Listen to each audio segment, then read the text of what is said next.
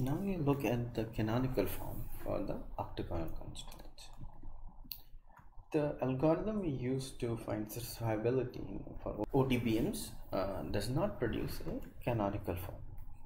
And because it does not uh, implement that equality between the negative representation of the variable and the positive representation of the variable.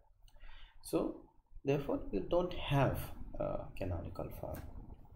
To achieve the canonical form, we need to tighten the bounds that may prove due to the above equalities. So let us define a formula corresponding to a matrix. So let's say a matrix, the corresponding formula is that uh, you write them in terms of original variables.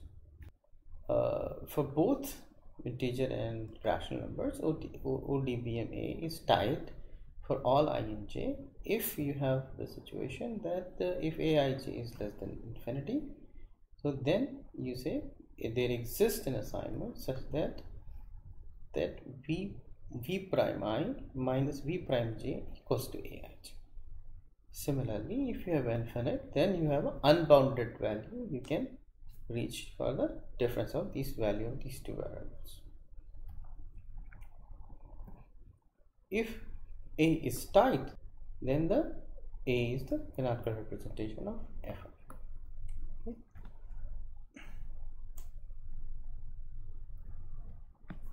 So how do we achieve tightness? The tightness is achieved by not only saying that aij is less than equal to a ikj that was implemented by the, the algorithm we have done to compute check satisfiability we also need to implement this relation we say that aij is less than equal to aii bar plus ajj bar divided by 2 and that should be the tell that should tell you that uh, if this condition holds then a is tight how do we prove that?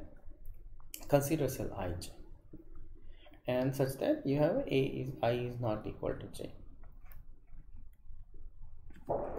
Suppose aij is finite. Okay? so you have iij is finite.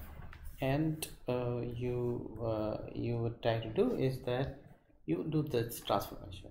You take a matrix A and at gi entry you write minus aij and ij bar entries you write minus aij okay?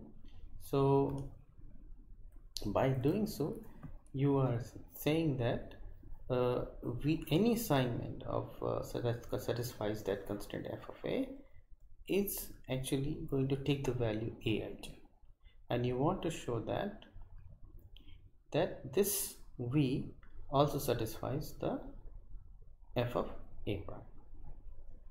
How do we do that? If first we prove the forward direction which is easily holds because uh, uh, since v satisfies a and the difference is uh, aij so you can easily check that every other constraint will be satisfied and the updated one will also be satisfied because the because of the construction.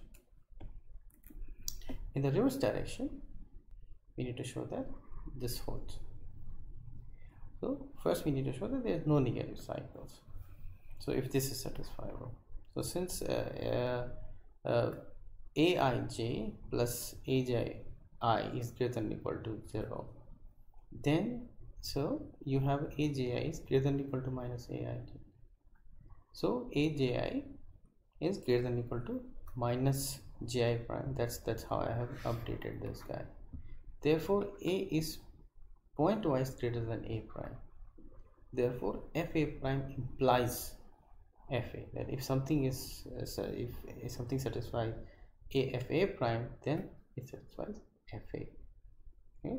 Now we have to show that this holds. Uh, since uh, we have a prime ij equals to minus a prime ji then then it's very clear that the difference of these two variables has to be equal to aij that's that's precise and therefore backward direction holds. Now we are left to prove is that if uh, fa prime is sat and how do we show that some something like a prime is sat is that there are no negative cycles in a prime a prime can only have negative cycles if they if ji or uh, ij bar occur in the cycle because we have updated only these two values. Otherwise uh, origin matrix a uh, did not have negative cycles but now we may have negative cycles because I have changed these two entries so let's suppose only one of them occur. So what can happen is that uh, you can show that this one entry plus the sum from other variable to coming back to this, that and that the other, other end is uh, is less than zero. And therefore you can show that since this entry is equal to minus aij then you can say this is uh, you can just write it there and you just move it around. Then you can see that a path is smaller than the entry and that is uh, that is not allowed in our uh, in our uh, in our algorithm therefore uh, it's a contradiction. If let's suppose both of them occur okay? So how am i doing induction it? Like this is you have a path a loop basically in which you have uh, in this path you have uh, uh, i0 it starts with i0 and then it goes to im and then you have i prime 0 and then ends with 0 okay? And this is just uh, prime okay? And we are choosing these entries in such a way that this is i uh, i and this is j this is i again and this is j. Okay? So then you have a cycle. Now we will show that these paths and these two edges if you put them together we will can derive contradiction yeah, so we get uh, we have ji and ij bar separated out and these two uh, constraint these two parts are separated out and this uh, if we solve them then we can see that these are the original entries and then you have a 2 2ij written here because this uh, these are the same values. And uh, and these are the path from i to i uh, bar. So then you can say that a of i bar this is path from j to j bar. And then you get this basically it's saying that a this has to be less than zero which is not in our assumption. Therefore we have a contradiction. And due to the previous theorem and the desire of efficient computation let us uh, redefine a bullet for ODBMs how do we compute ODBMs so we compute by uh, the following operations. Okay so you have a 2n matrices produces uh, one after another a0 a1 a10 a2n and the final a2n is your a bullet so first you have a a0 which is a then we have odd and even rule. So in the odd rule what we do we we update the entry ij if a uh, if their their value is uh, smaller than a i i bar and a j j bar divided by 2 in the case of even uh, even steps we, we we need to show that uh, if between i and j you need to show that it goes to o okay and O is the step at which the iteration is happening. We also need to consider we may have we go through I over J and similarly you need to say O O bar J and I O bar O J. These are the different possible paths that may interfere in your uh, in your the bounds between I and J and therefore you need to consider all of them you need to prove a theorem that after these updates you will have considered all paths and at the end you will have uh, the, the final thing will hold true. We will not cover the proof in in this uh, lecture but the slides at the end covers the proof and you may read about it. So here's an example. In this example you can see that you have this matrix and you want to update. And so uh, my O is 1 and first time I'm iterating.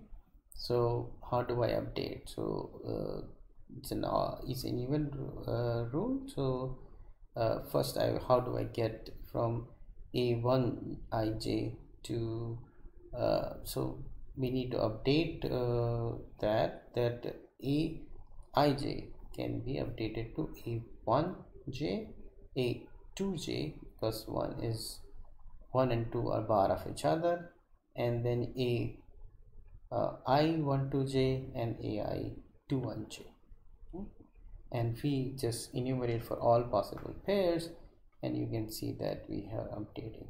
It's a good idea to work out few of the examples so that you can follow the logic of these updations. If you want to extend this for uh, uh, solving integer we also need to in, in, introduce that aii bar is even in our tightness constraint. We'll not provide the proof in the slides uh, please try to work out yourself how to process.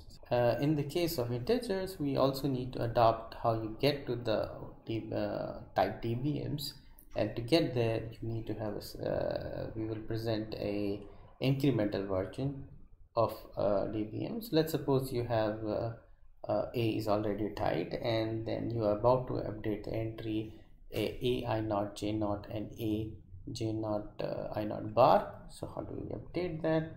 Is uh, we uh, use the following rule which two-step rule. The first you have uh, you introduce uh, diagonal entries. Uh, you you update diagonal entries for as as follows. Okay you consider these two paths.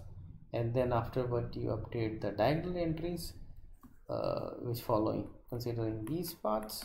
And then finally you update the every entry if the the ii bar and jj bar can produce something much more tighter. And this will produce your dbm okay? Tight dbm